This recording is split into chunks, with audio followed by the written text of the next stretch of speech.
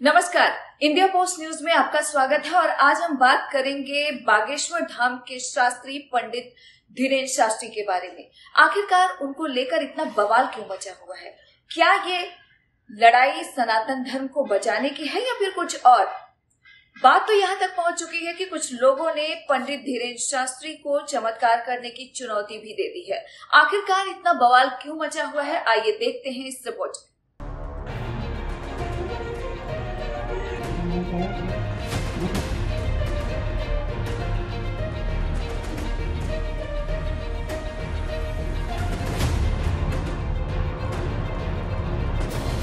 दरबार में पूरी बागेश्वर बालाजी की सेना आ जाए।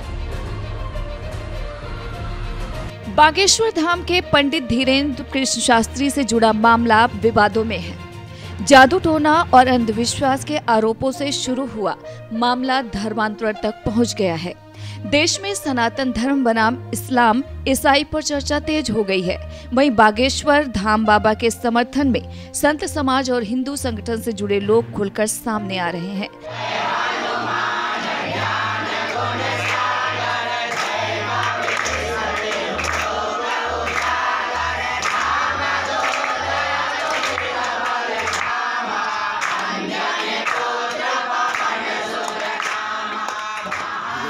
शास्त्री जी का जिस तरीके से अपमान किया गया एक व्यक्ति विशेष के सनातन धर्म को मानने वाले जो लोग भी हैं वो चुप नहीं बैठे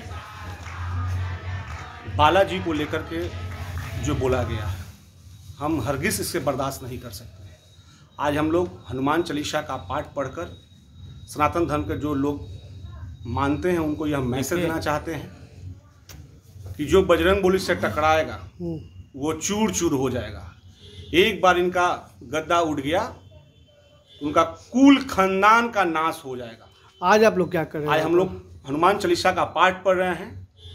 उनको दिखाना चाह रहे हैं और दिखा रहे हैं कि सनातन धर्म इतना कमज़ोर नहीं है कि आप उसको ऐसा ही कोई शब्द का प्रयोग करके शब्द और चले जाएँगे बीजेपी नेता कैलाश विजयवर्गीय और कपिल मिश्रा समेत कई भाजपा नेता भी बाबा बागेश्वर के समर्थन में आवाज़ बुलंद कर रहे हैं। लोगों को फोर्स किया जा रहा है क्या?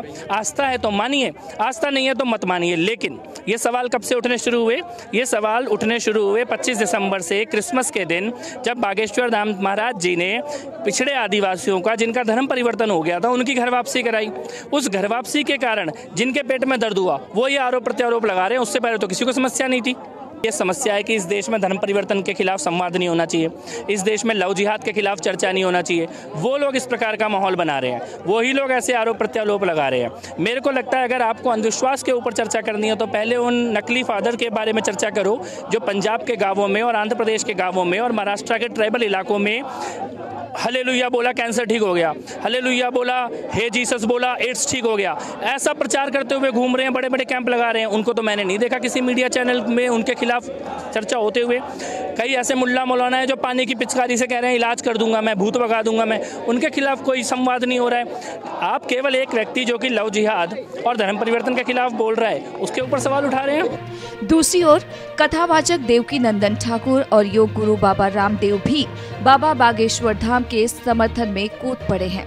सोशल मीडिया में भी बाबा के समर्थन में लोग ट्वीट और पोस्ट कर रहे हैं।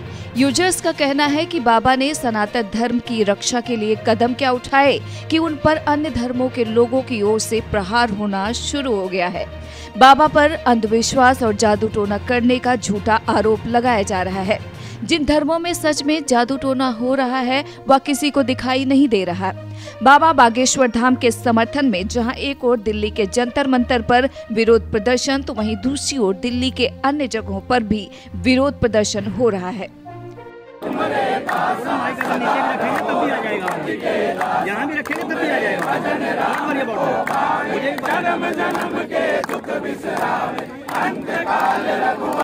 मानव नाम का एक शख्स।